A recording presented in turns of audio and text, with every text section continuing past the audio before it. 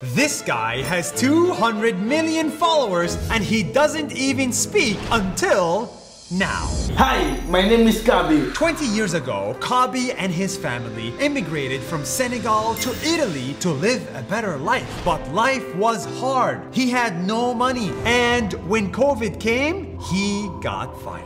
But this guy just wanted to make people laugh. So he started making videos. His videos made fun of complicated life tasks. My video is simple. In the beginning, only two people watched him. But soon, he went from zero to 200 million followers. He started to make money and he even became the face of Hugo Boss. Khaby is proof.